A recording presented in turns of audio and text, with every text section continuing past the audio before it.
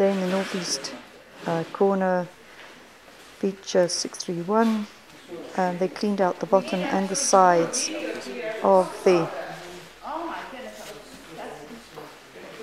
of the uh, burial pit here and see some yellow clay could be part of the underlying wall um, coming up in the middle of the midden.